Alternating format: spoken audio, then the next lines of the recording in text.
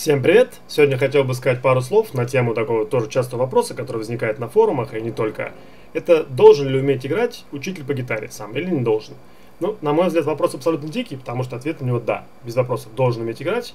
Но, тем не менее, вот такой точки зрения есть тоже противники, которые прям с пены у рта бьются, что нет, не обязательно, потому что можно научить, там, не знаю, залазить на турник и делать трюки, сам при этом не залазя на него и так далее.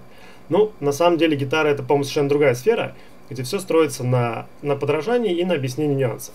То есть, допустим, пришел ученик и сыграл какую-нибудь там пару квинт вот так вот. Я ему говорю, нет, смотри, это неправильно, должно быть таким образом.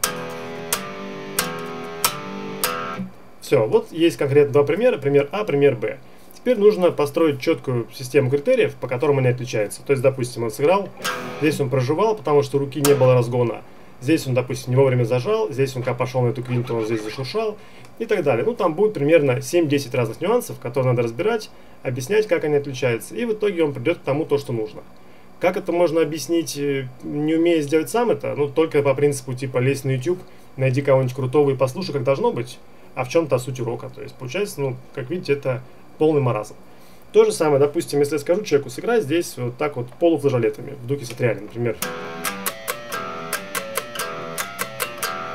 Если я сам их не умею делать, как я буду объяснять? Ну, скажу типа, ну это как у сатриани, вот так вот послушай там, ну постарайся понять. То есть, опять же, что это за, за херня? Это не, не урок, а какой-то бред. То есть, естественно, есть преподаватели, которые просто заваливают человека табами, типа, на вот тебе табы, на вот учи, учи, на вот тебе там гитар про, разбирай, в следующий раз покажешь. И человек показывает, и учитель говорит, ну, что-то, блин, не то, здесь не очень круто, здесь еще поработай. То есть, ну, как бы вот, вот так выглядит урок. По-моему, это абсолютная муть. То есть, естественно, учитель должен объяснить каждый нюанс, потому что здесь магии нет, здесь, по сути, все какие-то там, не знаю, допустим, рассинхрон, да?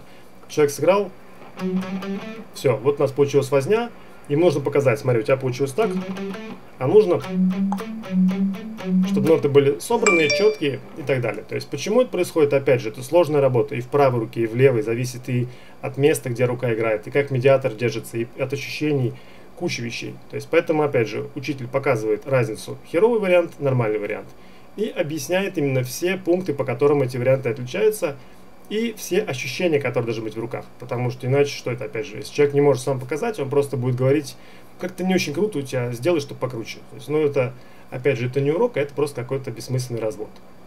Вот то, что я думаю на эту тему. Пишите комментарии и до связи. Всем пока.